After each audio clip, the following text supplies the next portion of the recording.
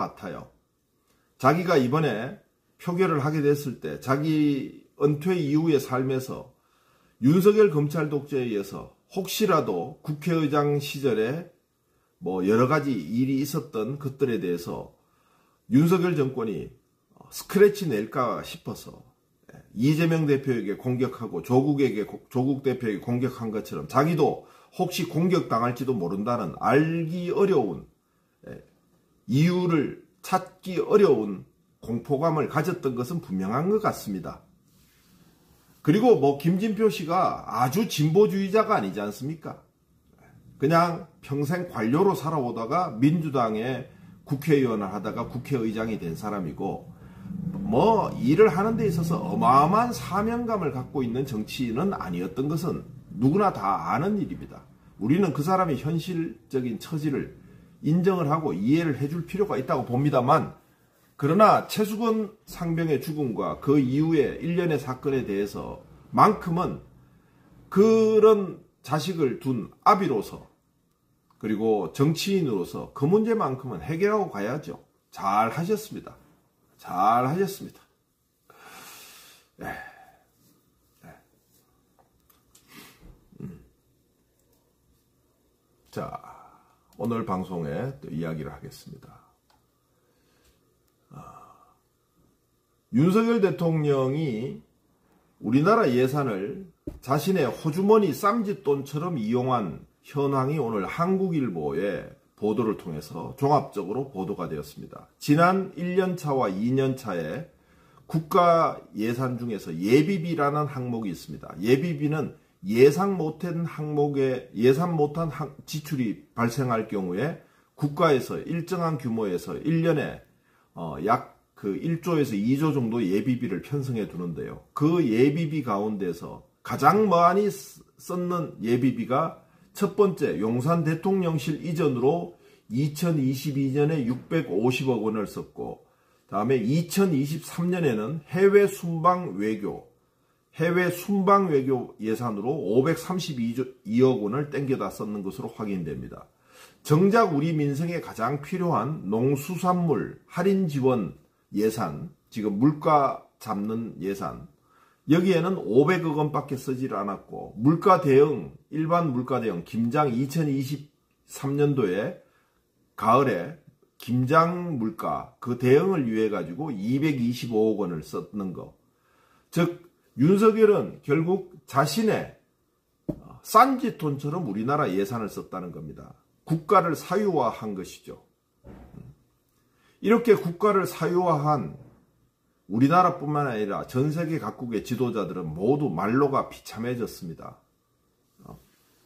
우리 국민들이 민생에 민생고에 시달리고 물가고에 시달릴 때 그 문제를 해결하기 위해서 예비비를 써도 모자란 판에 해외 순방과 다음에 대통령실 치장하는데 그에게 예비비를 썼다는 사실만으로도 윤석열 씨는 공익의 대변자, 대한민국을 대표하는 대통령의 자격이 없는 사람이라는 것이 증명이 된 셈이라고 말씀드릴 수 있을 것 같습니다.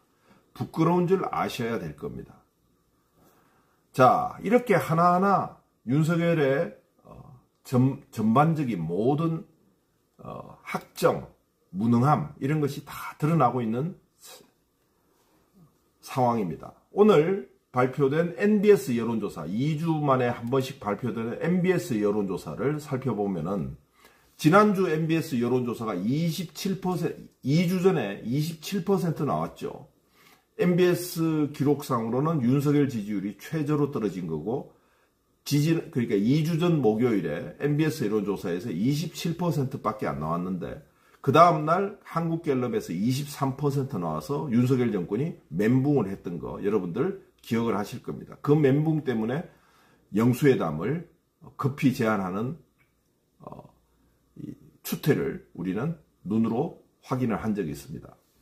네, 오늘 조사에서는 역시 똑같은 상황입니다. 윤석열이 지난 4월 19일에 급하게 영수회담을 제의하고 열흘 동안 영수회담 준비에 관련된 이슈를 가지고서 언론을 뒤덮었고 여론을 뒤덮었지만 월요일 날 발표 월요일 날 진행된 영수회담에서 윤석열이 영수회담을 제안하고 실행한 이유가 시간 벌기용이고 윤석열은 하나도 변하지 않았다는 것을 국민들이 두 눈으로 확실히 봤기 때문에 오늘 발표된 MBS 여론조사에서도 마찬가지로 똑같이 네, 똑같이 27% 나왔습니다.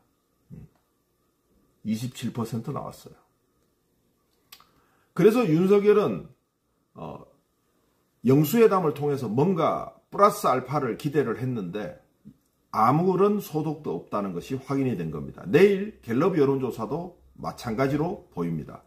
갤럽 여론조사가 어, 지난주 지지난주 23%, 지난주도 뭐 23점 몇 퍼센트인데 24% 같은 수치였는데 내일은 제 예감으로 봤을 때는 어, 조금 더 떨어질 것으로 저는 예상, 예상이 됩니다만 오차 범위 내에 있는 거기 때문에 21%가 된다 손치더라도 수치상으로는 떨어진 것이 윤석, 그 국민 여론을 움직일 수 있지만 어, 여론조사의 오차 범위라는 점에서는 거의 비슷한 수준으로 유지될 것이라고 봅니다. 국민 여론은 변하지 않았습니다. 명백하게 윤석열 정권에 대한 심판 의지를 거둬들이지 않고 있고 윤석열 정권이 총선이 끝난 이후에도 정진석을 비서실장으로 쓰고 원내대표도 찐윤을 원내대표로 꽂으려고 하고 당대표 격인 비대위원장에 이미 정치에서 은퇴한 지 오랜, 오랜지가 된 그런 70대 노인을 비대위원장으로 쓰는 것을 보면서 예, 대통령은 안 변한다. 윤석열은 결코 변하지 않는다라는 국민적인 인식이 확고하게 자리 잡았고 윤석열은 이, 물, 이 문제를 타개하기 위해서 다음 주에 대통령 취임 2주년 기념 기자회견을 연다고 하는데 여러분 대통령의 면모가 드러나면 드러날수록 대통령 지지율은 떨어지는 것이 윤석열 시대의 풍경입니다.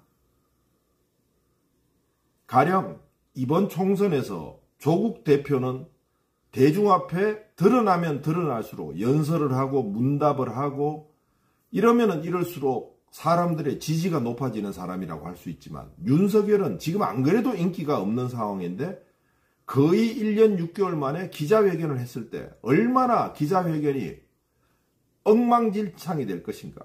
분명히 정진석이라는 언론인 출신의 비서실장과 대통령실의 참모들이 어, 네, 다음 주에 열릴 기자회견을 뭐 어마어마하게 준비하겠죠. 기자들하고 짜고 치고 다음에 질문 내용 미리 받고 순서 정하고 대통령한테 그 수, 질문에 대한 답변도 준비를 다 하고 하는데 결국은 뭡니까? 윤석열은 아이고 귀찮다. 아이고 귀찮다. 어? 그러니까 대통령에게 참모들이 대통령실이 요번에 영수회담에서 봤듯이 분명히 준비해 준 게 있을 텐데 윤석열은 아이고 귀찮다. 아이고 모르겠다. 그냥 내 그냥 내 꼴리는 대로 말하고 내가 뭐 내키는 대로 말하는 거지 뭐 그거 순서가 중요하고 뭐 의전이 중요하고 네 기자회견 가령 기자들에게 20명의 기자들의 질문을 사전 질문을 받아서 순서까지 정해 가지고 문답지를 다 만들어 주더라도 모든 것이 예, 어, 그 문답지에 따라서 윤석열이 답변하지 않을 것이라는 것이 명확합니다. 그래서 윤석열은 기자회견을 통해서 자신의 최후의 최후의 본 모습을 국민들에게 보여줄 것이라고 저는 기대하지 않 기대해 마지 않습니다. 서결 씨 기자회견 꼭 해라. 꼭 하고 그 기자회견 회견 하기 전날에는 반드시 폭탄주를 18잔을 꼭 마시고 들어가야 돼. 그 기자회견 하기 전에 술 기운으로 기자회견 해야지 맨정신으로 기자회견 하면 잘 못해요. 원래 윤석열 씨는 윤석열 다움이라는 것은 뭐냐? 이 술 기운, 몸에 있는 알코올 기운이 가득 찼을 때 가장 포스가 끝내주거든. 그러니까 윤석열 대통령님께 내가 어, 컨설팅을 해드리자면 그 전날에 폭탄주를 정진석하고 답변 준비 등을 핑계로 삼아가지고 앉아가지고 폭탄주를 한 18잔쯤 서로 마시고 그러고 난 다음에 아 그래 그래 아 그래 아, 1번 질문은, 어, 연합뉴스에서 하기로 했다고. 아, 연합뉴스에 총선 참패에 대해서 대통령의 생각은 어떠신가요? 아, 그래, 어, 이렇게 질문하면 이렇게 답변, 어, 그래, 그래, 알았어, 알았어. 아, 이거 뭐, 그렇게, 아, 그래, 그래. 아이, 잘 썼네, 답변. 아유, 아, 국민 여러분께 송구하고, 국정을 쇄신하기 위해서 노력하고, 반성하면서 열심히 다시, 어, 그 힘을 모아가지고 열심히 해보도록 하겠습니다. 이렇게 준비를 딱 했는데 막상 기자에게 들어오면 총선 참패에 대해서 대통령의 평가는 어떠십니까? 이렇게 기자 질문이 딱 나오면 윤석열이 나가서 에, 에, 저희가 추진한 2년 동안 추진한 국정 수행 방침은 방향은 전혀 틀린 바가 없는데 우리 저 멍청한 대통령실 직원들하고 행정부 관료들이 임무를 방기해서 국민들에게 더 상세하고 더 조곤조곤 설명을 해드리지 못한 결과로 인해서 총선에서 패배를 총선에서 의석이 모자랐으니까 지금부터는 더더욱 대통령과 관료들과 대통령실이 한 몸이 되어서 국민 여러분께 우리 윤석열 정부의 국정 기조를 알리는데 최선을 다하도록 하겠습니다. 답변지하고는 완전히 180도 다른 답변지. 예. 예? 100, 준비된 답변지하고는 완전히 180도 다른 답변을 내놓으면서 또 경악을 시킬 거라는 거죠. 다음에 의료교육 문제, 의과대학 정원 문제나 의료교육 문제에 대해서 준비해 놓은 것은 아 의사들의 의견을 받아들여서 그거를 하고 1550명으로 줄었는 것은 다행이고 뭐 이렇게 좋은 말 뭐 이렇게 입에 혀처럼 굴러가는 말 답변지를 탁 A4 한 장짜리 딱 받았었는데 쭉 읽어도 그 질문이 나왔어 의료교육 문제 어떻게 처리하실 겁니까? 아 이거는 말이죠 의사 선생님들께서 돈 문제 때문에 고민을 하시는 것 같은데 이거 의, 대 정원 늘린다고 해서 의사 선생님들 앞으로 30년 50년간 OECD 국가 중에서 최고 수입을 계속 받으실 겁니다. 걱정하지 마시고 윤석열 정부의 의료교육 방침에 동참을 해주시기 바랍니다.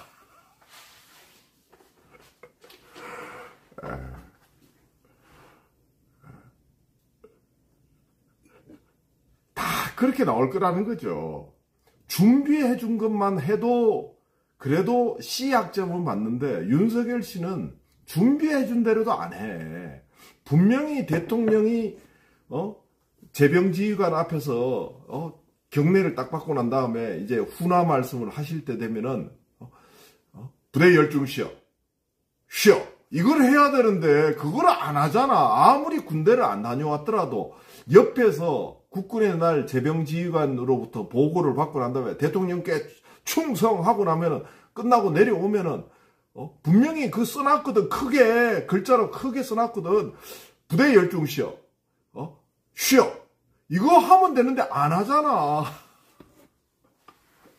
안 하니까 관료들이 우리나라 관료들은 우수하고 특히 형식을 맞춘 의전은 확실하게 대통령한테 보고서가 다 올라갔는데 대통령이 안 하는데 뭐 재주가 없는 거지. 음? 그래 윤석열 씨는 학습을 안 하는 사람이잖아요. 학습을 안 합니다.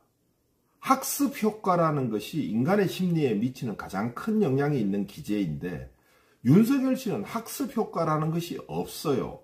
유일한 학습 효과는 어릴 때 아버지로부터 고모수로 두드려 맞았던 거하고 다음에 그 예쁘장한 젊은 어? 부인을 맞아가지고 부인한테 이렇게 어? 쇠뇌 당한 거 다음에 천공에게 이야기 들었는 거, 거구 유튜브로부터 매일같이 거구 유튜브 시청하는 걸로.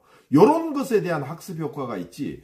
민심이 대통령에게 뭐를 이야기하고 야당이 뭐라고 이야기하는 것은 학습 효과가 없어요. 여러분들이 18분 동안에 이재명 대표가 영수회담에서 국민의 요구 12가지에 대해서 조목조목 설명을 물 한 잔 안 마셔가면서 피를 토하듯이 대통령님께 강력히 요청드립니다. 대통령님 이 부분에 대해서는 이렇게 해주시고 이 부분은 이렇게 해주십시오. 18분 동안 할 때 윤석열의 포정 보셨잖아요.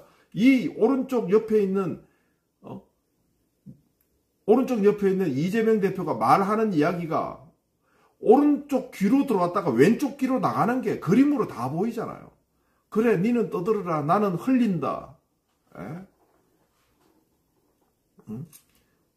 이재명 대표가 옆에서 18분 동안 피를 토하는데 그거를 오른쪽 귀로 듣고 왼쪽 귀로 흘리는 사람이라는 거죠. 그러니 참모들이 야당 대표도 이야기도 그렇게 흘릴지언정 자기 부하인 비서실장 이하의 대통령실의 참모나 총리 이하의 장관들, 차관들 이야기는 듣겠냐고요. 안 듣습니다. 윤석열 씨의 가장 큰 문제는 인격적으로 다른 사람들의 이야기를 듣지 않는다는 데 있어요. 네.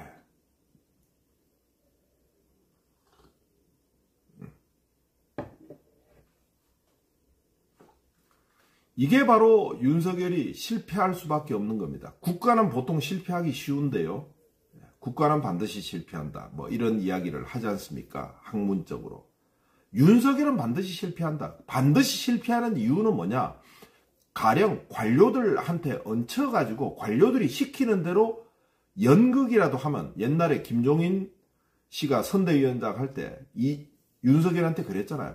아니 혼자서 나가서 떠들지 말고 지멋대로 떠들지 말고 내가 써주는 대로 어? 김종인 할배 내가 써주는 대로 니는 읽기나 해라. 그러면은 당선되니까 괜히 아는 척하고 나가서 떠들지 말고 내가 써주는 거 읽기만 해라. 그러면 당선된다. 그렇게 이야기를 하니까 완전히 그냥 꼭지가 돌아서 김종인의 모가지를 날리고 이준석의 모가지를 날리고 했지 않습니까?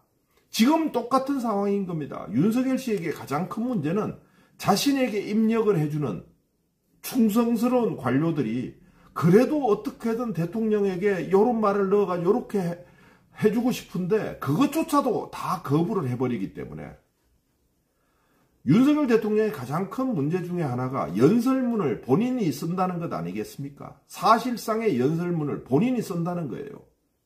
중요한 어드레스를 대통령 본인이 쓴다는 것은 어쩌면은 국정 초기에는 가능할지 모르지만 대통령 임기가 2년이 된 현재 상황에서도 대통령이 국무회의 발언 어? 20 몇 분 다음에 의대 개혁 의료 개혁 문제에 대해서 51분 담아 이게 자신의 손에서 나온다는 이야기가 엉터리 같은 이야기라는 겁니다. 대한민국 국가가 대통령 개인의 생각에 따라서 움직이는 나라가 아니라는 거예요. 자신은 기본 방향을 설정하고 그 기본 방향에서 관료들이 써주고 여야가 합의한 내용을 얼개를 만들어 가지고 이야기를 해야 되는 사람인데 이 사람은 자기가 어릴 때부터 생각해왔던 몇 가지 단편을 가지고서 모든 것을 결정하려고 하기 때문에 그게 바로 독재자죠. 네. 무식한 독재자입니다.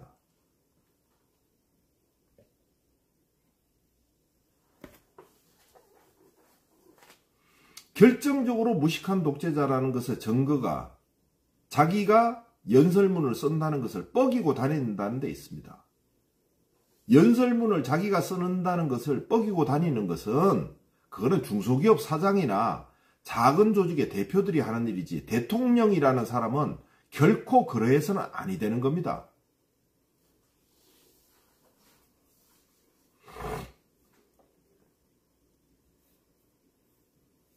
국민의 목소리에 대해서 윤석열 대통령은 결코 귀를 기울이지 않는 사람이라는 것은 오늘 국회에서 최수근 상병 특검 법안이 통과되자마자 정진석 비서실장이 브리핑룸에 나와서 공식적으로 항의하는 성명을 발표하는 모습에서도 드러났습니다.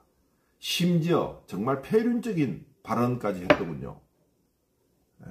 정진석 씨가 어? 정진석이 딱 그런 수준의 사람이긴 한데 아참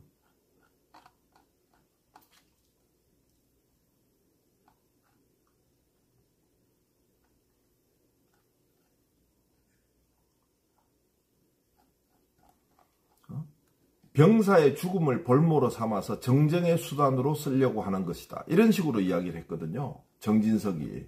그게 대통령의 인식이에요. 네. 대통령식, 대통령실의 인식입니다. 네.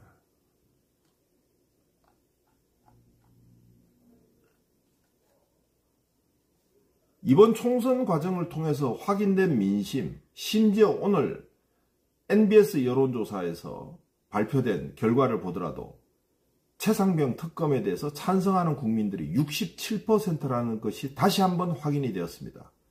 가장 최상병 특검에 찬성하는 국민들의 비율이 높았던 여론조사는 지난해 연말에 75%까지 나온 적이 있는데 오늘 발표된 NBS 여론조사 대통령 지지율 27%이 여론조사에서도 최수근 상병 특검 법안은 반드시 통과돼야 된다라는 사람이 67%가 나왔습니다.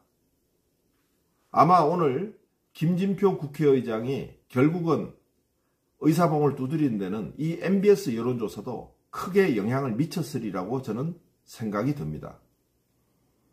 67%라는 말은 절대 다수를 말합니다.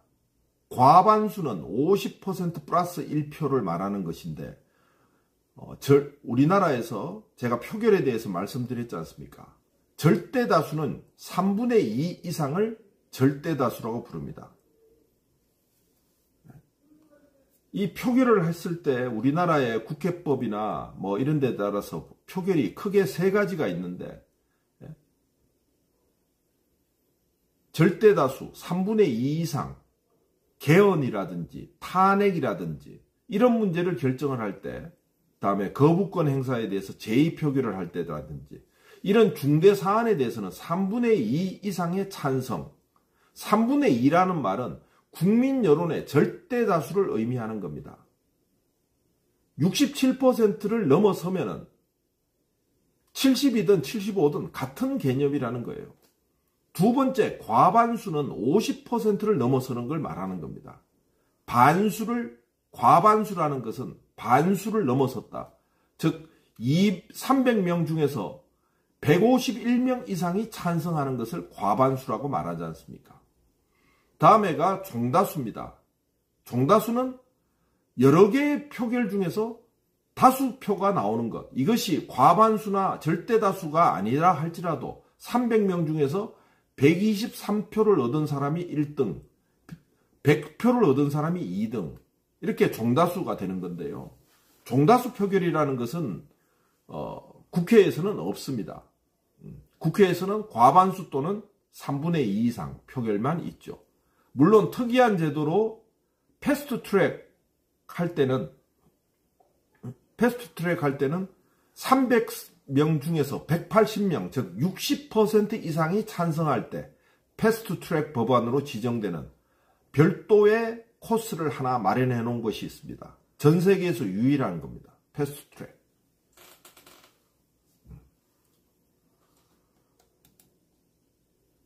그래서 그 오늘 표결의 결과에 대해서 어, 대통령실에서 죽음을 볼모로 잡아서 하는 뭐 이런 거라고 했는 그 이야기는 참으로 흉악한 것이고 윤석열은 역시 변하지 않는다라는 뜻을 말하는 거고 다음 주 기자회견에서도 이것에 대해서 대통령이 과연 이런 식으로 말을 하면서 다시 최수근 상병의 가족과 박정훈 대령의 가족 우리 국민들에게 다시 못을 다시 한번 받게 될지 한번 주목을 해보도록 하겠습니다.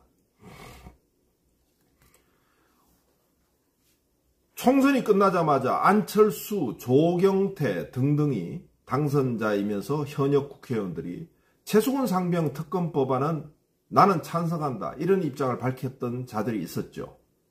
그런데 오늘 어떤 일이 벌어졌습니까?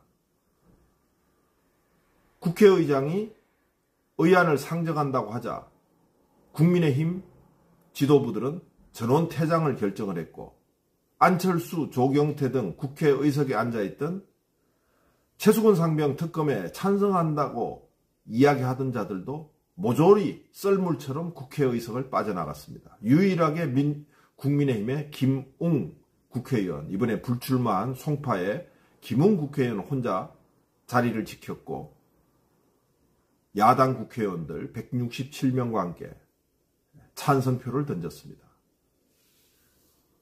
안철수 씨, 조경태 씨, 부끄럽지도 않소? 총선 내에서 참패를 했고, 참패를 한 결과가 대통령의 민심, 민심에 대해서 귀를 기울이지 않고 전횡하는 것이라고 비판을 했던 자들이 아니 그 말하는 것이 잉크도 마르기 전에 입에 침도 안 마르기 전에 오늘 표결하는데 썰물처럼 퇴장을 해? 부끄러운 줄 아소. 안철수는 그 어떤 경우에도 대통령을 할 수 없을 겁니다. 워낙 안철수는 말하고 행동하고 다른 걸 너무 많이 했어요. 네.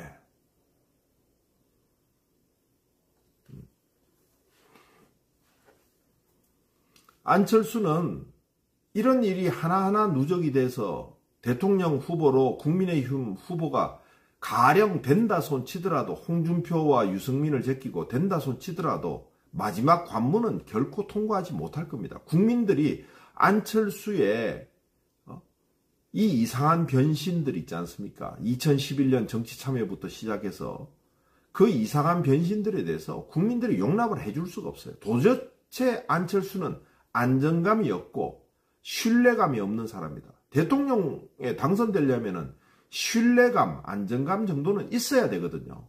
정책 능력이라든지 추진력 이거는 그 다음 문제고 그래서 안철수는 이번에 다 된 밥에 코 빠뜨렸어요. 국민의힘을 접수할 수 있는 찬스를 또 놓쳤어. 끝났어. 나경원은 속으로 가슴을 쓸어내렸을 거야.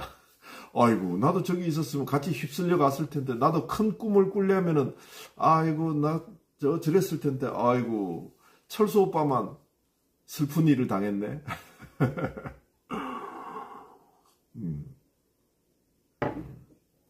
철수 오빠만 슬픈 일을 당했네. 그러나 우리 나경원 선수에게도 6월 1일 국회 개원 이후에 바로 시험대에 또 오르게 됐어요. 왜냐하면은 김건희 종합특검법을 민주당에서 제일 먼저 발의할 거거든. 야당에서 김건희 종합특검법을 발의할 거거든. 그러면 나경원은 어떡할 거냐 이거지. 어?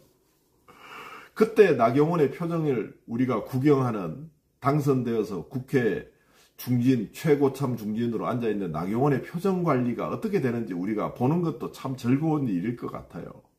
경원이 언니 어떡할 거요? 어떡할 거냐고. 어. 오늘 이준석의 개혁신당의 조홍천, 이원욱, 양정숙 등등은 어떻게 됐나요? 걔네들도 철수했나요? 네? 표결에 참가했나요? 더브리TV님? 나 그거는 확인을 못했네. 철수했어요? 조홍천, 이원욱, 양정숙도요? 기권했어요? 야, 천하의 잡것이네. 조홍천.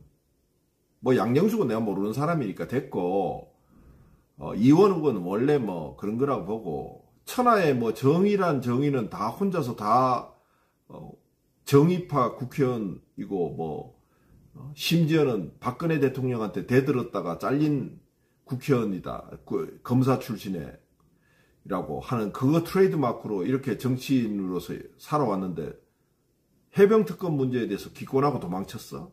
야 정말 진짜 한심한 놈들이네. 한심한 놈들이야. 양양자는 찬성을 했고, 음. 야, 정말. 아, 나는 조홍천, 조홍천은 생각도 못했는데 여러분 지적을 잘해주셨어요. 조홍천이 이거를 도망을 쳤다? 야, 나는, 야, 그 정도로 본색을 확실하게 보여줬네. 이번에 최민희 언니한테 완전히 발리고 난 다음에 제정신을 잃었구만. 조홍천이. 음. 양양자는 찬성했다고 하시는 분이 계시고 불참이라는 분도 계시고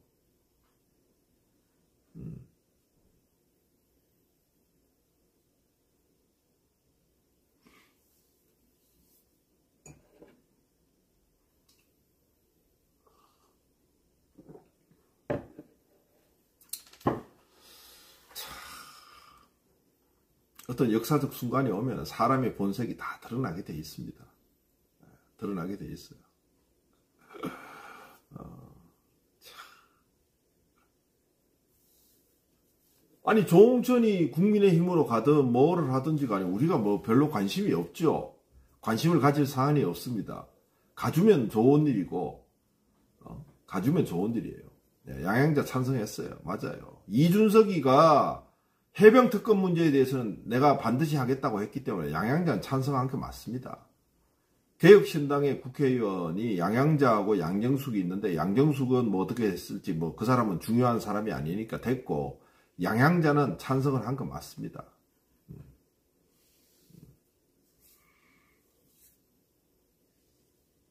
이준석이가 이 해병연대하고 힘을 모아가지고 뭔가 보수를 다시 일으키는 고리로 삼는 것이 이 해병특검 문제지 않습니까? 근데 결국은 역시 마지막 동무대는 민주당이 차지했고 우리 박주민 원내수석 부대표가 오늘의 스타였습니다. 끝나고 난 다음에 제가 참 울컥했던 장면이 뭐였느냐 하면은 국회 본회의장에 방청석이 있습니다. 저 위에 높은 데에서 바라보는 방청석 저도 한번 들어가서 본 적이 있었는데 방청석에 빨간 해병대 티셔츠를 입은 해병연대 회원들 한 20여 명 젊은 해병연대 회원만 있는 게 아니라 70대의 해병연대 어, 노익장 해병들도 오셨는데 거기서 가결 표결 가결됐다고 방망이를 치니까 그 빨간 티셔츠 입은 어, 해병연대 회원들이 전원 다 자리에서 기립해서 거수경례를 하더라고요. 예, 거수경례를 즉 국회가 어, 올바른 결정을 내려준 것에 대해서 이 예비역 해병들이 예, 존중을 표시한 거죠. 최고의 예의를 표한 겁니다. 그리고 난 다음에 퇴장을 하는데 70대 노 해병께서 이 눈물을 쏟으면서 정의가 살아있다는 걸 보여줬다. 아, 참. 음, 정의가 살아있다는 걸 보여줬다. 음.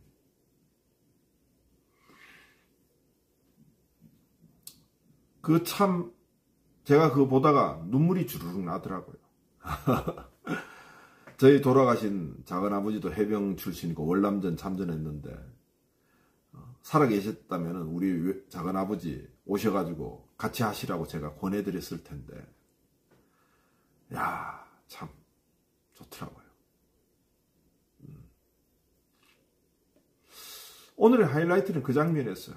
해병연대 빨간 티셔츠 입은 한 20여 명의 회원들이 방청석에 있다가 자리에서 기립해가지고 국회의장과 국회의원들을 향해서 거수경례를 하는 장면, 국회의 결정에 대해서 국민으로서 존중의 의사를 바치는 아, 이 장면에서 물, 어, 뭉클하더라고요. 음. 자, 이제 14일 이내 윤석열이가 거부권 행사를 결정을 해야 됩니다. 거부권 행사할 겁니다. 왜냐하면 거부권 행사 안 할 수가 없습니다. 거부권을 행사하더라도 무조건 200석으로 이번에 지금 현재 국회의원 결원 등을 해가지고 198석입니다. 198석이에요. 198석이면은 이상이면 198석 포함해서 198석 이상으로 무기명 제2표결에서 198표 이상이 나오면 되거든요. 그러면은 야당이 확보하고 있는 현재 오늘은 뭐 저기 몇 명 빠진 사람이 있었지만 마지막 표결에는 국회의원들 296명 전원이 다 참석한다는 전제로 놓고 보자고 하면은 야당 계열의 국회의원들 숫자가 음 190명쯤 되니까 한 10명 정도가 땡겨 와야 됩니다. 10명. 10명 예, 정도 땡겨 와야 됩니다. 10명 정도 땡겨오는 건데 국민의힘에서 21대 국회의원 중에서 10명, 김웅을 포함해서 10명 정도를 땡겨오면은 대반란이 일어나는 상황이죠. 저는 어제도 저는 그 김진표 의장이 의사봉을 잡, 잡을 가능성이 높다고 말씀드렸는데 반드시 가결됩니다. 저번에 김건희 이 특검의 제2표결에서는 1차 표결과 마찬가지 숫자가 나왔지만 그때는 공천 문제 등과 결부되어서 사일런트 공천이라고 해서 조용한 공천을 해서 현역 국회의원들을 모가지를 안 날렸던 국민의힘의 안배가 주요했는 결과였지만 이번에는 어, 현재 국민의힘의 국회의원들 110명 가운데서 절반 이상이 낙선하거나 낙천한 사람들이고 윤석열 대통령 때문에 내가 어, 백수가 되었다는 분노와 원한에 가득 찬 국회의원들이 한 60명 이상이 되기 때문에 그들 가운데서 10명 정도만 무기명 제2 표결에서 무기명 표결에서 해주면 끝입니다. 퇴장도 못해요. 퇴장도 못합니다. 퇴장하는 순간에는 재석의 3분의 2 이상이거든요. 오늘은 퇴장을 전, 쟤네들이 했지만 오늘하고 달라지는 건 여러분들 착오하시면 안 되는데요. 퇴장도 못합니다. 국민의힘 국회의원들도 전원 표결에 참석하지 않을 참여하지 않을 도리가 없습니다. 즉 국민의힘 국회의원들이 110명이 가령 다 빠져나가고 야당 국회의원들 190명이 남아있다고 칩시다. 그러면 그들이 해버리기 때문에 무조건 가결이에요. 재석 기준으로 하는 겁니다. 재석. 그 제2표결에 의자에 앉아있는, 자리를 지키고 있는 재석 3분의 2 이상이거든요. 그렇기 때문에 국민의힘 국회의원들 110명이면은 걔네들은 표결에 전원 참석해서 어쨌든 198표 이하로 떨어뜨리기 위해서 자기들 할 건데 아니 들어갈 때야 지도부를 향해서 부결시킬 겁니다. 그래놓고 돌아가가지고는 가결로 쓰는 애들이 10명 이상은 나오게 돼 있다는 겁니다. 10명 이상이 나오게 돼 있습니다. 음. 그래서 어? 며느리도 모르는 비밀 투표가 이루어지는 것이기 때문에 김웅은 이미 깠기 때문에 김웅은 당연히 야당의 편에 서겠지만 나머지 한 10여 명 정도만 더 추가로 뜨면 되기 때문에 그 사람들이 윤석열한테 완전히 원한이 사무쳤거든요. 원한이 사무친 사람들이 많습니다. 음. 음. 아름다운 결정, 가결. 하, 예, 언어의 마술사, 또 우리 이소연 정치위원회. 아름다운 결정, 예, 가결이라고 말씀하셨습니다. 예.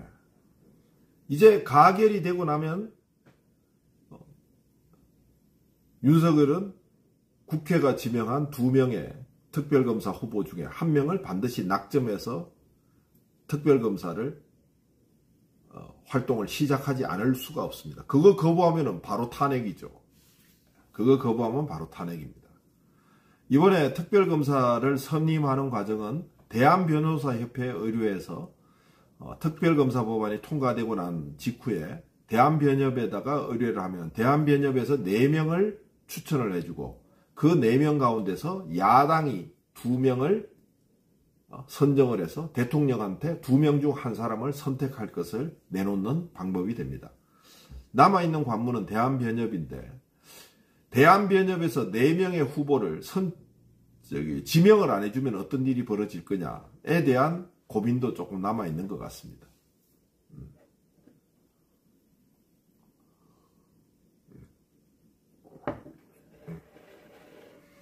대한변협이 지금 굉장히 보수화되어 있고 윤석열 측에 밀착이 되어 있는데 그러나 대한변협도 정치를 보는 눈이 있기 때문에 대한변협에서 4명 후보를 추천을 해줘야 되거든요. 법안이.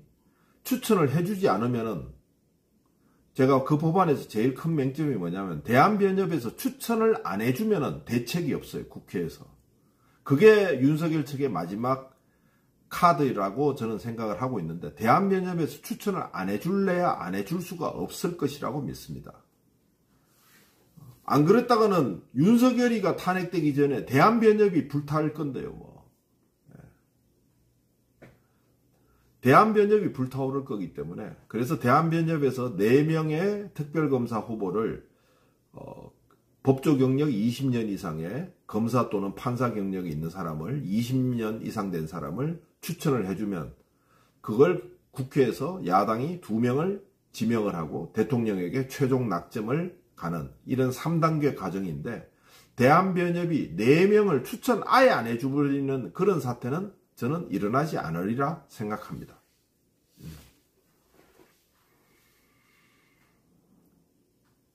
대한변협에게 먼저 4명을 4배수를 추천해달라고 요청을 하게 되어 있고요. 그 중에서 야당이 2명을 고르는 겁니다.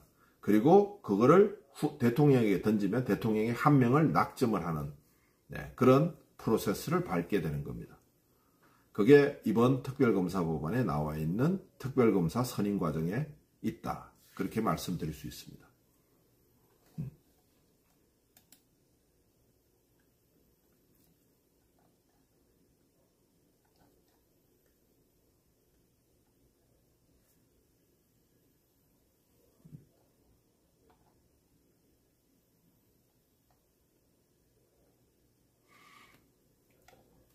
오늘 대통령실의 정책실장 성태윤 정책실장 연세대학교 경제학 교수입니다. 윤석열 대통령의 아버지가 연세대학 경제학 교수지 않습니까? 그 교수의 연, 윤석열 대통령의 아버지의 제자가 성태윤 연세대 경제학과 교수인데 작년 말에 정책실장으로 임명이 됐지 않습니까? 오늘 성태윤 정책실장이 대통령실의 브리핑룸에 나와서 이런 발표를 했습니다.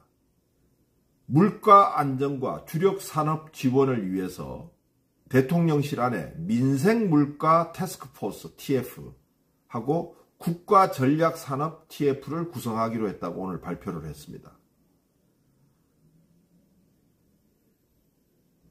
민생 물가 TF하고 국가 전략 산업 TF 두 개의 TF를 구성하기로 했다고 발표를 했습니다. 이 두 개 TF의 TF 팀장은 성태훈 정책실장이 맡기로 하고 유관부처의 담당자들 민생물가면은 기재부, 뭐 산업부, 농림부, 해양부 등등이 참가할 거고 다음에 국가전략산업 TF라고 하면은 산업부, 기재부 뭐 이런 등등이 참가, 경제부처들이 참가하는 거죠. 어지간히도 빨리 TF 만들었다 이 자식들아. 국가 전략 산업 TF라는 것도 웃기는 이야기이긴 하지만 특히 저를 웃기게 만든 것은 민생 물가 TF를 이제 와서 만들겠다고 하다니. 아니 지금 민생 물가가 문제가 되기 시작한 게 작년 연말부터 난리가 났었는데 지금 6개월이 지나서 총선 지나서 대파 875원 사태까지 다 지나고 난 다음에 이제 와서 민생 물가 TF를 만들겠다고 하는 대통령실이라는 것이 얼마나 무능한 자들이 모여가지고 탁상공론만 하고 있고 그 대통령의 그 참모들이라는 수준을 알 수 있다는 겁니다. 국민들은 전체 수출 경제, 수입, 그 무역 경제도 잘 되는 것도 중요하고 전략 산업도 잘 되는 게 중요한데 일반 소시민들이 느끼는 것에 가장 중요한 것이 물가 문제 아니겠습니까? 전두환 대통령 시절부터 물가가 가장 중요하다. 한국은행의 가장 중요한 목표는 물가 안정이다. 이걸로 이야기해 온 지가 벌써 40년, 50년이 되어 왔는데, 아니, 물가가 천정부지로 치솟고 있는 상황인데, 그거 수수방관하고, 대파 875원 쇼로 물가 높지 않다고 구라치다가 국민들에게 걸려가지고, 이번 총선에서, 어? 대파로 처맞고, 한 윤석열 대통령이 이제 와서 물가, 민생 물가 TF를 만들겠다고?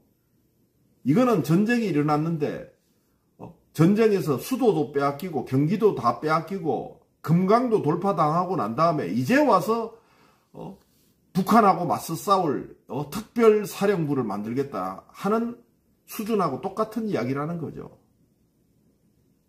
정책을 실행할 때는 정책의 내용도 중요하지만 타이밍도 중요합니다. 타이밍이 중요해요. 물가 문제가 국민적인 이슈가 된 지가 벌써 6개월, 8개월이 됐는데 이제 와서 대통령실에다가 물가 민생 TF를 만들겠다고 하는 이 한심한 놈들 때문에 우리 국민들이 더 죽어나가고 있는 것 아니겠습니까?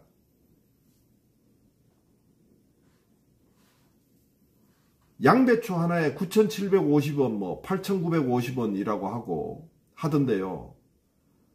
야, 진짜 피눈물 나는 것 아닙니까?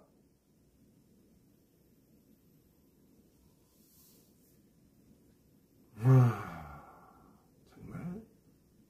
그리고 대통령의 예비비, 국가 예비비 1년에 1조, 2조, 3조 정도 돼 있는 예비비 가운데서 가장 큰 쓰임새가 대통령의 해외 순방 비용하고 용산 대통령실 개보수 비용으로 써, 써제끼고 물가 민생 문제에 대해서는 그보다 한참 낮은 수준으로 지급했는데 거기다가 몇천억 때려 넣어가지고 국민들의 물가 문제를 잡았어야 될 윤석열 대통령이 지금 와서 지금 와서 쪼다들도 이런 쪼다들이 어디 있어요.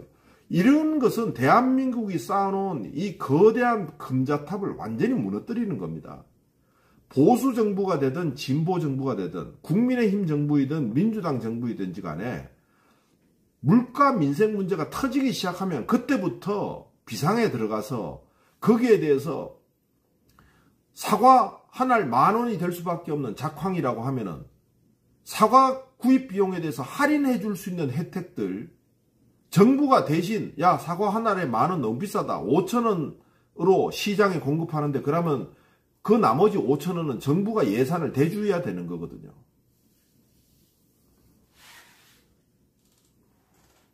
참.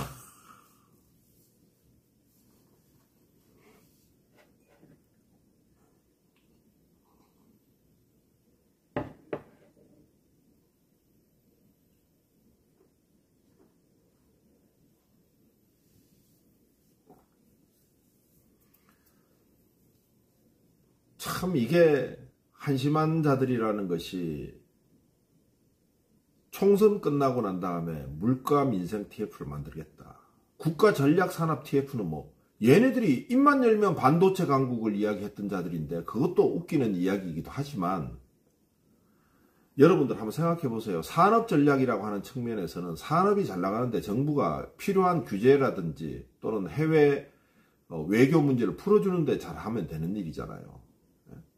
그런데 마치 자기가 삼성전자 회장인 것처럼 하이닉스 회장인 것처럼 국가 전략 산업을 이끌어 가는 것이 윤석열 정권의 가장 큰 문제거든요. 삼성이나 하이닉스나 현대차에서 제일 크게 문제 의식을 갖고 있는 것은 뭐냐? 아니 기업 경영을 하고 전략 산업을 육성하는 것은 전략 산업을 키워 나가는 것은 기업의 동력인데 대통령이 완전히 왕회장처럼 군다는 것 아니겠습니까? 반도체 이거에 저거에 저거에 자동차 이거에 저거에 저거에 조선 이렇게 저렇게 언제부터 윤석열이가 대한민국의 삼성그룹의 명예회장이고 현대차 그룹의 명예회장이고 SK 하이닉스 그룹의 명예회장이었단 말입니까? 황당한 새끼들이죠.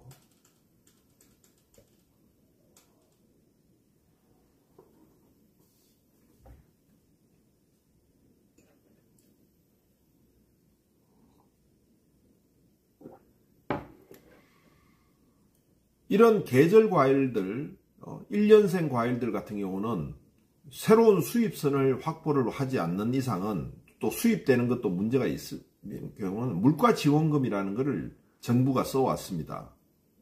수입 대체가 어려울 경우에는 수입 대체가 하는 방법도 있지만 어려울 경우는 최종 소비자는 만 원짜리로 팔릴 이게 될 사과를 5천 원에 살 수 있도록 해주고 그 5천 원을 국가가 예산을 들여가지고 거기에 유통업자들이나 이런 데하고 내고를 해가지고 3천 원을 준다든지 이런 식으로 진행을 하거든요.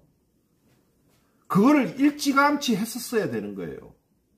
일찌감치 했었어야 되는 겁니다. 가령 한 달 만에 한 번씩 출하를 하는 그런 짧은 주기에 뭐 파라든지 이런 작물들이면은 그거는 한 달 지나고 나면은 작황 문제가 해소가 되지 않습니까? 아, 이번 달에 모자라 가지고 팥값이 어, 많이 올랐다. 그러면 다른 농민들이나 그것에 대해서 정부만 농림부에서 공지를 해줘서 야, 요번에 파는 요번에 100만 평에서 했는데 그래가 작황이 모자라서 난리가 났으니까 120만 평 하는 게 좋겠다. 그래서 작황을 늘려나가면 되는데 1년생 사과라든지 1년생 귤이라든지 이런 거는 갑자기 들여오기가 힘들게 되면은 최종 소비자는 예전보다는 좀 비싼 가격이긴 하지만 감내할 수 있는 가격으로 살 수 있도록 하고 유통업자들이나 생산업자들에 대해서 정부가 물가 지원금을 제공해 주는 거다. 물가 안정 지원금을 제공해 주는 겁니다. 그게 예비비에서 써야 되는 거예요. 그렇게 함으로써 소비자 후생을 소비자들이 야 사과가 보통은 2천원 정도 이알 알 좋은 사과를 2천원 정도 3천원 정도에 살 수 있었는데 이번에는 만원 하려고 하는 거를 정부가 나서서 5천 원으로 막아내고 정부가 나머지 뒷부분은 감당을 한다. 막 후에서는 대, 정부가 감당한다. 이게 물가 지원금이거든요. 그런 개념이 하나도 없는 거예요.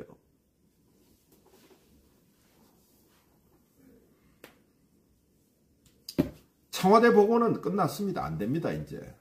청와대 보고는 안 돼요. 왜냐하면 청와대는 이미 보안이 너무 많이 노출이 됐어요.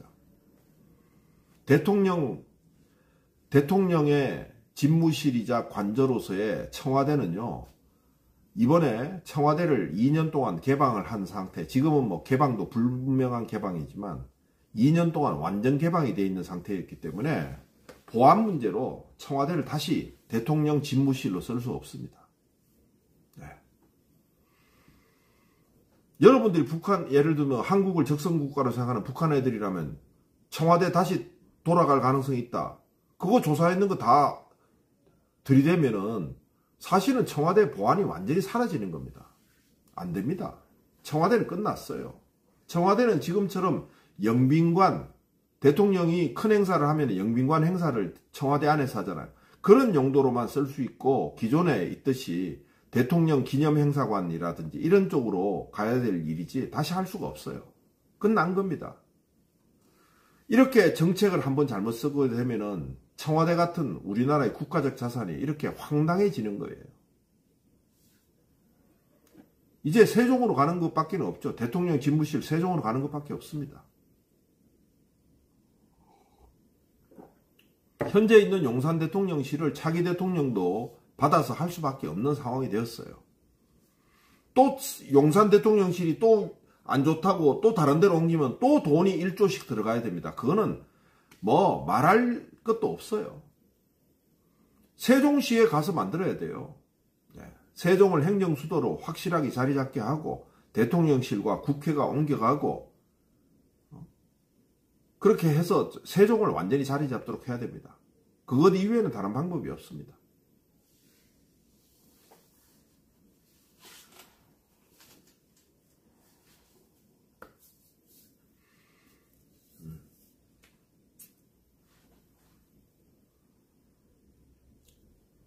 근데 세종으로 가는 것도 시간이 걸리죠. 왜? 지어야 되잖아요. 없잖아. 텐트 치고 대통령 집무실과 관제를 할 수는 없는 노릇 아닙니까? 그러니까 차기 대통령은 용산에서 볼 수밖에 없고 예산을 써서 용산 대통령, 대통령실에 세종시 집무실을 새로 만드는 수밖에 없어요.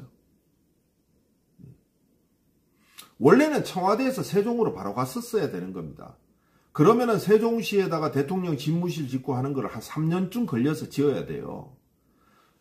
보안이라든지 주변 인프라라든지 모든 것을 염두에 두고 해야 되는 건데 그 날림 건물로 세종시에 각 부처들 드릴 때처럼 그렇게 지을 수는 없는 겁니다.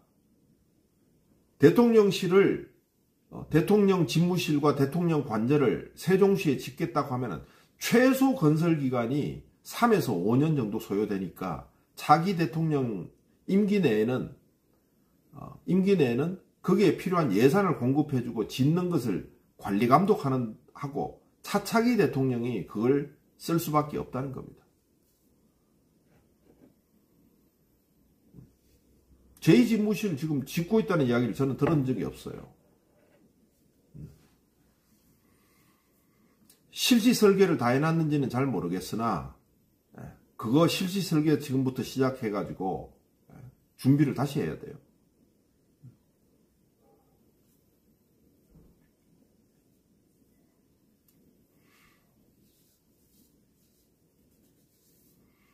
윤석열은 용산 대통령실로 옮기겠다는 그 순간부터 자신의 정, 정체를, 자신의 아이덴티티를 완전히 드러낸 겁니다. 국가 운영을 어떻게 할 건가가 관심이 아니라 내가 대통령 됐으니까 내 마음대로 할 거야. 라고 하는 자신의 아이덴티티를 드러낸 거예요. 대통령실도 옮기는 이유도 국가 운영을 잘하기 위해서 옮기는 것 아니겠습니까? 그런데 걔는 윤석열은 대통령실을 옮기는 이유가 내가 대통령실 청와대에는 안 들어가겠다고 했으니까 나는 대통령실 안 들어가겠다는 약속을 지키기 위해서 다른 데 반드시 짓겠다. 예요. 후보 시절에 그런 이야기 할 수 있습니다. 저는 청와대에 안 들어가겠습니다. 그런데 대통령에 당선되는 그 순간부터 대통령 경호실이나 각 부처에서 인수위원회 단계에서 와서 보고를 할 것 아니겠습니까? 네, 대통령님께서 청와대에서 다른 곳으로 옮기시려고 하면은 이러이러한 준비 절차를 맞춰 가지고 1년 계획을 짜 가지고 이렇게 움직이겠습니다. 이렇게 하는 것이 맞습니다. 이렇게 보고를 하는데 윤석열이가 그걸 다 집어 던졌다는 거 아니에요. 야, 나 대통령 될 때 후보 시절에 나 대통령실을 청와대는 하루도 하룻밤도 안 자겠다고 나 약속했다. 그러니까 하나도 안 중요해. 내 약속이 중요해. 그 말은 뭐냐? 국가의 이익보다는 자신의 이익이 더 중요하다는 뜻이에요.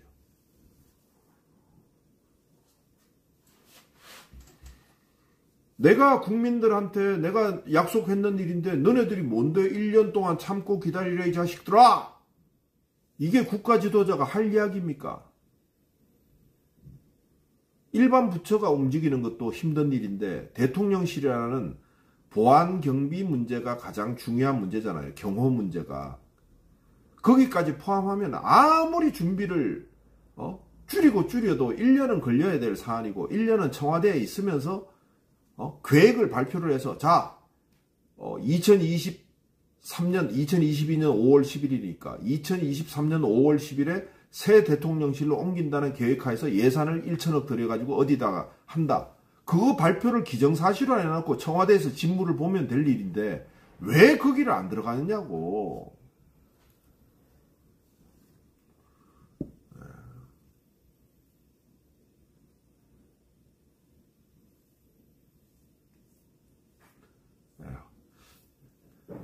화면빨 때문에 얼굴이 걸려 보이는 거지. 원래 뽀사시합니다. 김덕자님 감사합니다. 원래 뽀사시합니다.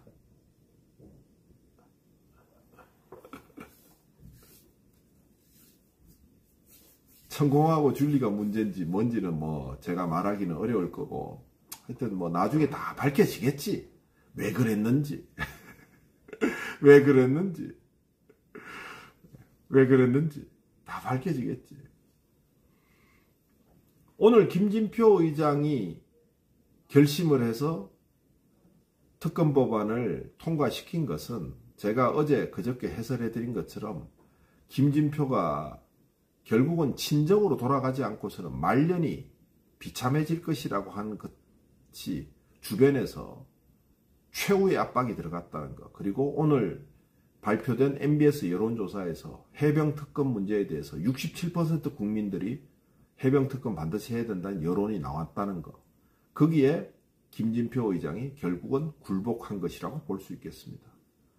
김진표 의장이 이제 가로늦게 은퇴하고 난 다음에 민주당에 복당도 안 되고 상임 고문도 못 받고 민주당 당원들이 맨날 얼굴만 쳐다보면 가래침이나 택택 뺏고 어? 욕이나 처먹고 다니면은 말년이 얼마나 힘들고 괴롭겠습니까? 그런 점에서 봤을 때 김진표의 어, 결론은 이미 예정됐던 것이라고 볼 수 있는 거고 그 예정이라고 하는 것을 민주당에 편드는 식으로 하기 싫어한다 이런 표현으로 어, 자기가 말을 했다고 하니까 두고 보입시다.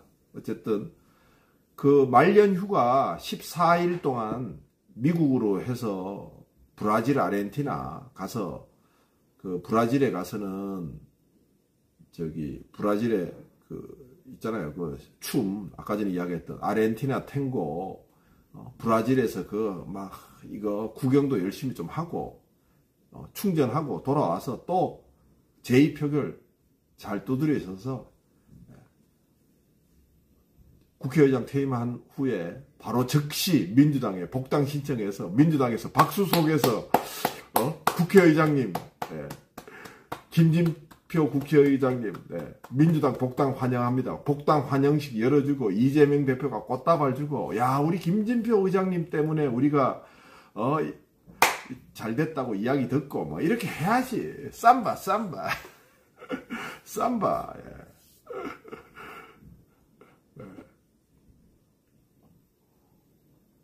제가 그저께 어저께 여기 와서 이 강경한 목소리만 이야기하시는 분들, 울분에 찬 목소리에 대해서 제가 다독거리는 말씀을 많이 드렸습니다. 정치라는 거 협상을 하는 거고, 시뮬레이션 게임을 하는 거고, 상대가 있는 게임을 하는 거니까, 울분은 이해하지만 정치하는 과정, 전략 시뮬레이션 게임 하듯이, 또는 화투를 칠 때, 화투를 칠 때 제일 망하는 코스가 뭐예요? 예. 아, 생멸치 쌈밥 최, 어, 좋다. 지금 철 맞네. 예. 통영 생멸치 참, 쌈밥. 화투를 칠 때, 또는 카드를 칠 때, 상대편의 카드패나 화투패를 전혀 생각하지 않고, 내가 쥐고 있는 일곱 장의 화투패, 다음에 내가 계속 받게 되는 뭐, 5 카드일 수도 있고, 7 카드일 수도 있는데, 내 카드, 요것만 보고 치는 사람이 하수 아닙니까? 그죠? 문제는 상대적인 게임이어서, 내가 어, 화투를 치면 3점짜리의 최소 점수로, 고돌이에 3점의 최소 점수를 나든, 아니면 원페어로, 카드에서 원페어라는 가장 낮은 족보로 이기든지 간에 상대를 이기는 것이 중요한 일인데 막 분통을 터뜨리는 많은 시민들은 내 패만 보고 이야기한단 말이야. 내 패만 보고. 어떻게든 최상병 특검은 통과시켜야 돼. 그런데 이걸 가로막는 어? 국회의장은 조져야 돼. 그것만 이야기한단 말이에요. 그런데 어제 민주당의 박주민 원내 수석 내가 8년 동안 맨날 조졌는데 세월호 노란 리본도 달고 난 다음에 국회의원 되고 난 다음에 네가 한 일이 뭐고 맨날 조졌잖아요. 주민아 네 한 일이 뭐고 했는데 어제 박주민이 한 건 했습니다. 예. 이태원 참사 특별법에 대해서 양보를 해서 국회 본회의를 열게끔 했잖아요. 거기가 포인트였어요. 음. 거기가 포인트입니다. 우리가 세상살이를 할 때 비즈니스를 하든 연애질을 하든 또는 친구하고 뭐 내기를 하든지 간에 어떤 경우에든지 간에 협상술에 대해 생각하잖아요. 그래서 협상술에 대해서 제가 좀 더 말씀을 드렸고 정치를 하는 거다. 레인덕을 데드덕으로 만드는 것은 한 가지뿐이다. 이재명 대표가 야야 나 필요 없다 이제 우리 190석 얻었으니까 나 이제 탄핵으로 간다. 이재명 대표하고 조국 대표가 둘이 만나가지고 그 고량주 한, 한 병씩 먹고 난 다음에 나와가지고 공동성명 발표해서 이제 국회는 때리치우고 거리로 나가서 탄핵한다. 가령 그렇게 했다면 어떤 일이 벌어졌겠습니까? 나 영수회담 안 할란다.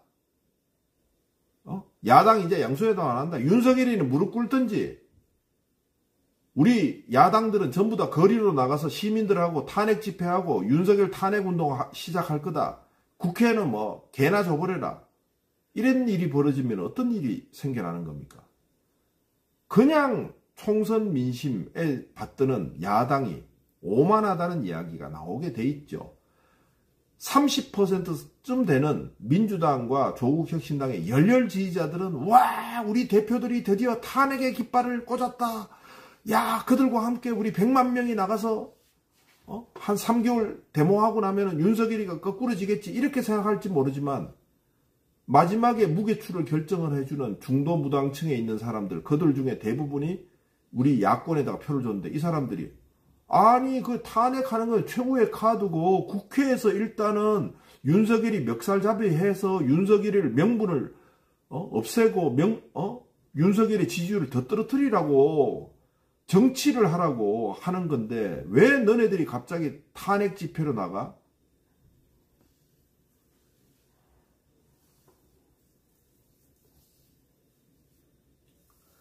이런 식으로 정치하는 것에 대해서 우리 시민들이 넓은 마음으로 아, 이해를 해야 됩니다. 그런데 저는 그 말씀들이 다 이해가 돼요. 왜? 그런 압박들이 쌓여야지 협상 대표들의 협상력이 높아지거든요. 굿캅 배드캅. 우리 시민들이 배드캅에 노릇을 하면서 다 때리치기라! 막 이렇게 하면은 정치하는 일선 현장에 있는 이재명과 조국 대표가 박주민이 뭐 신장식이 야야 우리 뒤에 있는 지지자들이 니 때리치기라 그러는데 이거 진짜 때리치기까 막 이렇게 하면서 야 협상하자 이렇게 가는 거죠. 협상하자.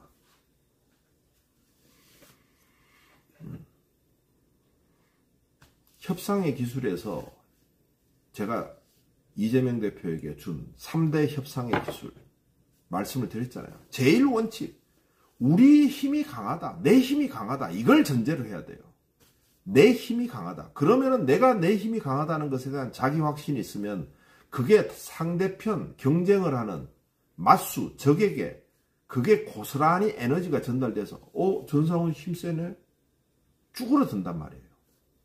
근데 내가 나에 대해서 확신이 없으면은 상대편도 아이고 뭐 겉으로는 뭐 빵빵하고 숫자도 많다고 하더니만 실제로 만나보니까 아무것도 갖고 있는 게 없네 이렇게 간단 말이에요. 그러면 협상이 꼬이기 시작하는 건데 어제 박주민 대 원내수석 부대표가 했던 협상술 그 나중에 분명히 또 입이 싸니까 어디 유튜브에 나와서 말하겠지 뭐 협상할 때 이렇게 꼬드겼다고 이야기가 또 콧바뜨리지 말고 입 다물고 그건 다 끝나고 난 다음에 하고 혹시라도 일요일날 협상할 때 있었던 일화를 그걸 또 어디 유튜브 가서 또 떠들지 말라고 떠들으면은 어떻게 되냐? 국민의힘을 모욕을 해주는 거든. 어? 국민의힘 측에다가 모욕감을 남겨주는 그런 이야기 하지 말라고. 아 내가 협상 잘했으니까 그 협상 때 있었던 것을 싹 꼬셔가지고 요거 싹 해서 요거 엎어치기 했는 건데 내 잘했죠? 이거 박주민 씨 하면 안 돼. 그냥 입 다물고 있어야 돼. 훗날의 기록으로 말씀드리겠습니다. 좋게 다 끝나고 난 다음에 말씀드리. 지금 와가지고 또 돌아서서 뉴스공장에 내일 아침 인터뷰에 또 나와가지고 아 내가 이렇게 해가지고 일요일날 요거 싹 뒤집어가지고 5월 1일 메이데이 때 휴일인데도 불구하고 싹 해가지고 싹 엎어치기 해서 딱 했는 거 이거 막 잘했다고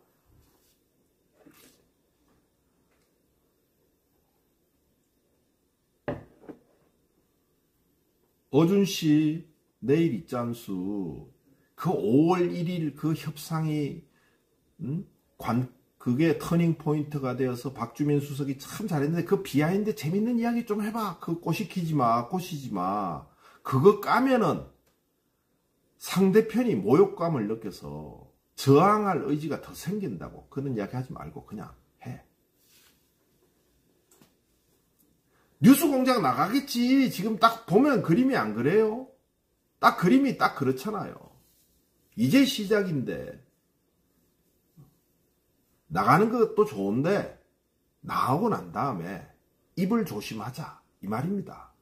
저는 그 협상이 어떤 식으로 했고 어떤 말을 통해서 했고 다음에 결과적으로 어떻게 됐는지 아무런 정보도 없어도 결과를 보면 다 알 수 있는데 선수들이 볼 때는 어떤 어떤 식으로 해가지고 했는지 다 알 수 있는데 그거를 발설을 하기 시작하잖아요. 협상 뒷이야기, 협상 낙수. 우리는 어떻게 해서 협상에서 국민의 힘을 어? 낚아챘나, 낚시질을 했나.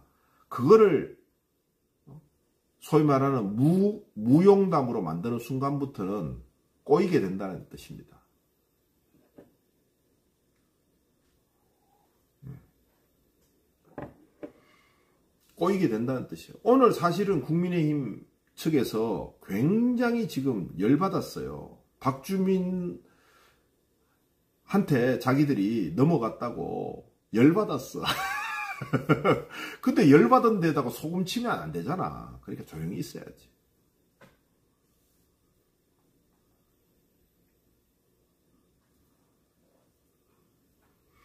음. 그러니까 뭐 박주민 원내수석 부대표가 지금 완전히 핫 핫하죠. 오늘 그 지금 MBC 거기에는 안 나왔죠? 뉴스 아이킥이 지금 저녁 1등 방송이니까 박주민이 뉴스 아이킥에 나오지는 않았죠? 보자. 이런 거를 까기 시작하잖아요. 협상 뒷이야기를 까기 시작하면 모든 것이 어그러집니다.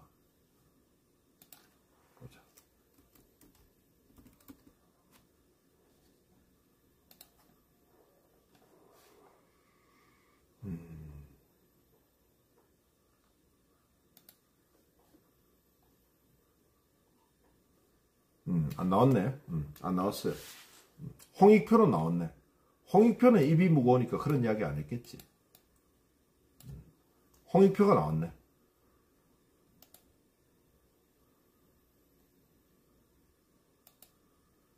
이태원 특별법은 협치의 상물이고 2차 영수회담은 성사될까? 그러니까 벌써 이 지금 뭐 정확한 내용은 모르겠습니다만은 우리 권순표 앵커는 벌써 베테랑 기자니까 여기서 민주당의 무용담 들려주는 것보다는 큰 그림만 이야기하는 거죠. 음. 음. 큰 그림만 이야기하는 거죠. 사실은 지금 시작일 뿐이에요. 진짜 전쟁은 마지막 제2표결이잖아요. 제2표결에서 어, 최대 198석까지 얻어야 되는데 민주당을 비롯한 야당의 의석 숫자를 다 끌어모으면 183인가 그렇기 때문에 열 몇 석을 더 얻어야 돼요. 그러려면은 맨투맨도 필요하고요. 아, 여러 가지가 필요해요. 네, 여러 가지가 필요합니다. 제가 이야기했는 관점에서 내일 아침에 뉴스 공장과 다음에 장윤선의 취재 편의점이나 뉴스 토마토나 그 야권 계열의 유튜브 방송들 어, 누가 나와서 그 국민의힘 야지 놓는 거 있잖아요. 너네들 우리한테 당했지 메롱 이런 놈이 나오는지 안 나오는지 살펴봅시다. 그거 하는 순간에 제가 봤을 때는 제2표결 물 건너갈 가능성이 있습니다. 사람에게 모욕감을 주면 안 됩니다. 정치 세력도 마찬가지예요. 그러면 깡도가 생겨나거든요. 깡이 생겨납니다. 음. 그러죠?